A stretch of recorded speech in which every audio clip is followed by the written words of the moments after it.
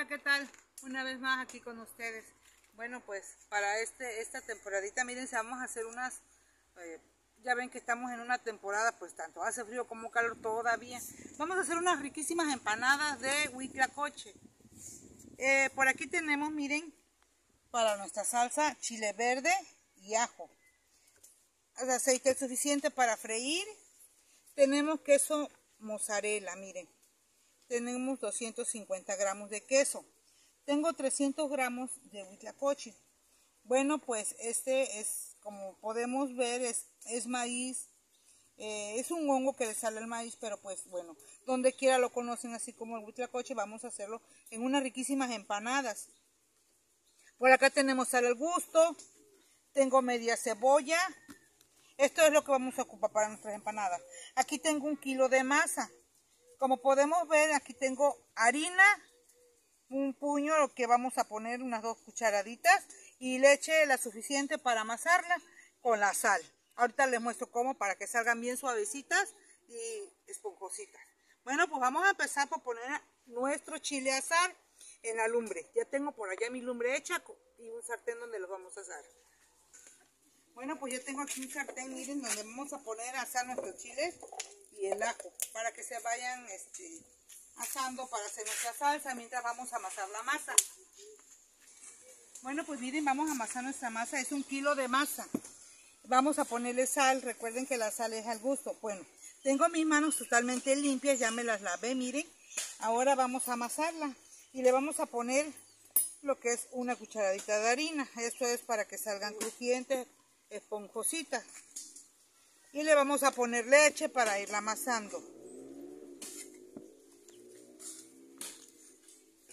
Bueno, pues miren, ya quedó nuestra masa. Le puse otra poquitita de, sal, otra poquita de leche.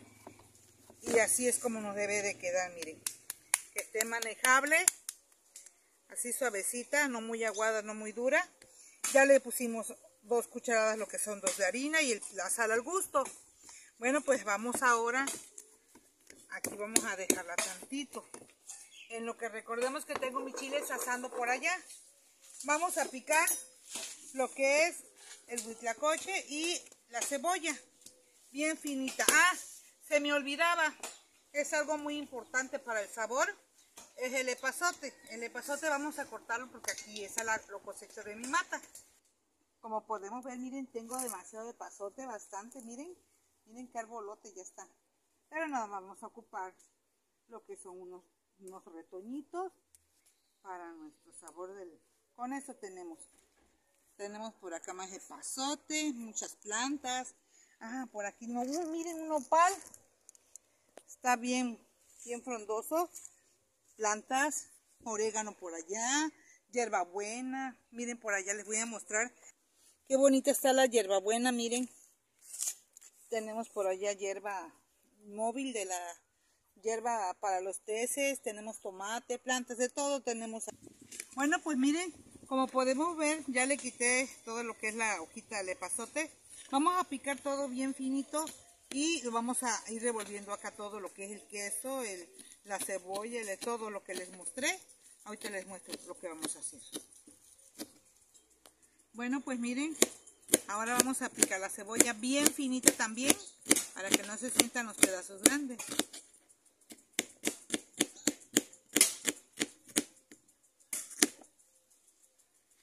Estamos picando en cuadritos, miren, pequeñitos. Bueno, pues miren, así va. Ahora vamos a poner lo que es la cebolla. Ahora vamos a picar lo que es el coche. Ahora vamos. Este también nada más va así picadito, picadito todo.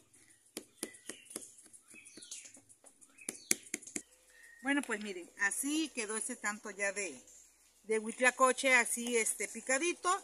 Ya el queso lo compramos así, ya como viene como en, bolitas. Bueno, pues miren, ya nada más lo vamos a, a poner. Vamos a ponérselo todo para que salgan riquísimas. Miren, todo va. Entonces aquí todo lo vamos a revolver y le vamos a poner tantita sal. Bueno, ahorita se la ponemos. Vamos a revolver el queso. Ay, no. Vamos a pasarlo a otro traste porque para que se revuelva bonito. Bueno, pues miren, ya lo estamos mezclando en un traste más grande. para que se pueda meñar le vamos a poner sal. Recuerden que la sal es la necesaria, la que tú estés acostumbrada. Bueno, pues como me veo porque me salpiqué de agua ahorita que fui a, a este otro traste y enjuagar el otro. Este, vamos a, revolverle bien, bien, miren cómo se ve mezclado con el epazote, el queso y el huitlacoche. Aquí tiene la cebolla, recuerden también. Bueno, ¿cómo nos vamos a dar cuenta? Hay que probarlo, le falta sal. Sabe muy rico. Y asadito este, en, la empanada, pues también. yo creo que... Otra poquitita. Y ya. Vamos a, a poner nuestro sartén. En lo que se calienta el sartén, vamos a moler nuestra salsa. Vamos. Bueno, pues ahora miren, vamos a poner el aceite. Recuerden que es suficiente para freír las empanadas. Vamos a ver si con esto. Vamos a esperar que se caliente mientras vamos a hacer nuestra salsa. Bien, miren, pues aquí tengo el ajo con sal. Vamos a, a molerlo. Ya está, también está asadito. Y nuestros chiles también vamos a irlos poniendo aquí. Vamos pelando. Y para hacer nuestra salsa.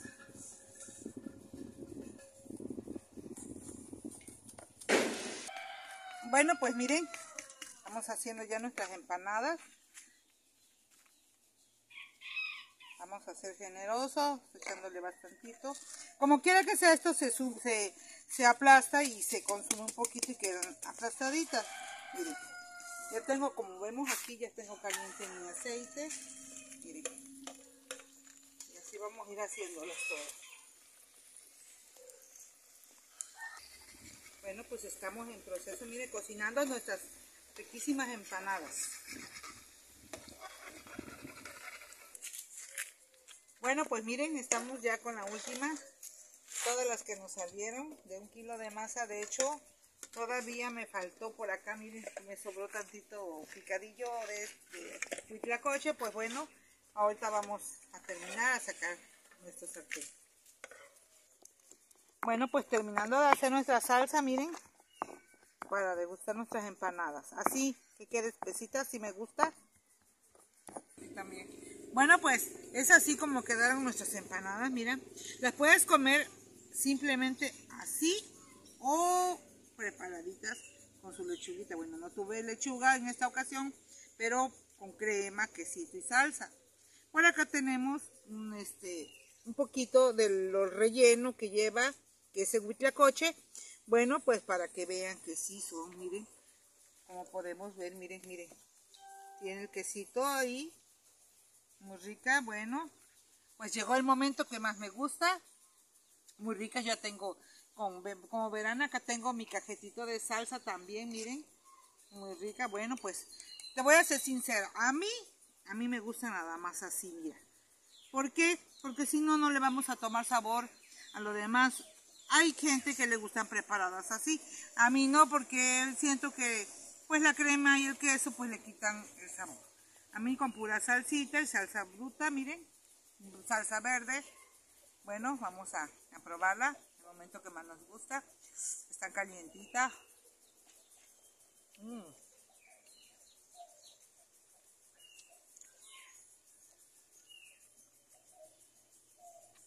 Quedaron riquísimas el sabor del epazote, mm.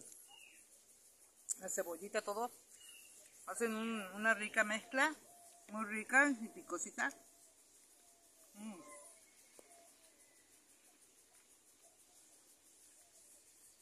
Recuerda que, que la harinita y la leche es para suavizar la masa, para que queden aguaditas ricas.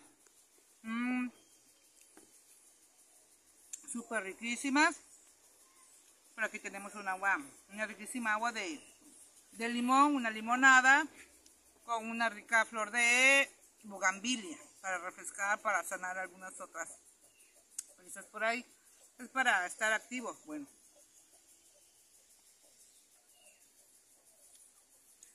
Deliciosa. Vamos a mandar un saludo para para Gordy Ruiz, que nos ve en Veracruz. Bueno, pues te mando un cordial saludo. Te invito a que hagas nuestras recetas y gracias por ver nuestro canal. Eh, a todos, a todos, en general a todas las personas que nos ven, tengo, tengo muchas personas que nos visitan y que están constantemente ahí. Eh, bueno, serían muchas, pero a todos, a todos, les mando un fuerte abrazo. Están muy ricas, están calientitas. Mm. Mm. ¿Qué te puedo decir? Picositas. Mm. Cómo se derrite el queso, mira, mira, mira cómo se derrite. Se cae. Se está cayendo el queso, rica. Mm. Nos vemos para el siguiente video. Nos vemos hasta la próxima.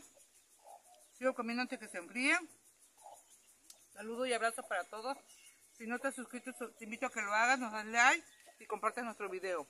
Hasta la próxima. Mm.